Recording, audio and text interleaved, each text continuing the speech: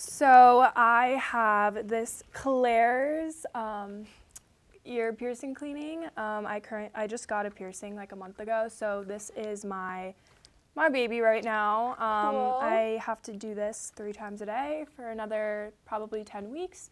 So this is one of my favorite things to use, or things that I need to use Like a because staple. like if I don't use item. it, my ear will get infected. Yeah, So. I, def- I definitely need one of those. Yeah, me too. Okay, so for my second one, I got this amazing face mask I love to use. And it's it says it's smooth, it's soothing and balancing and helps clear breakouts, which I have a lot of. So I love to use these every Wednesday and Sundays on my self-care days.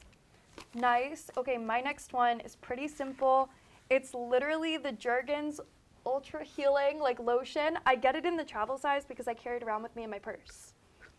All right, so my last favorite self care item is this Gucci Bloom perfume.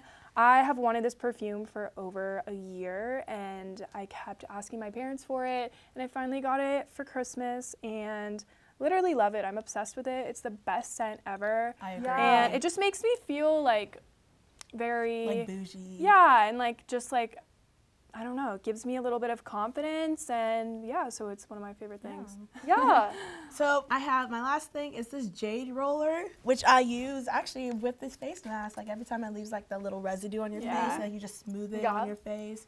Um, I saw this thing on TikTok where it's like you put Vaseline. It's called like slugging. Slugging, Yeah, yes. So like I use that at night to rub on my Mhm. face. It's been going really well lately. So yeah. That's what I Good. Yeah, your skin looks good. Thank you. You're welcome. Okay, my last thing is my Verb Ghost Dry Disco Edition dry shampoo. Oh my gosh, that sounds very high maintenance, but it's not. All you do is spray it on your head. Um, and it's got sparkles in it, which I really like. I love that.